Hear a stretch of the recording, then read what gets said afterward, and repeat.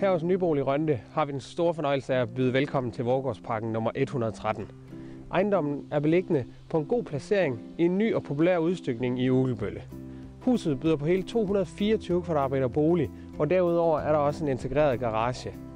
Ejendommen er opført i de bedste materialer og altså i et plan, med gode værelser, stort køkken, alrum, to badeværelser og stor stue. Den egner sig altså perfekt til børnefamilien.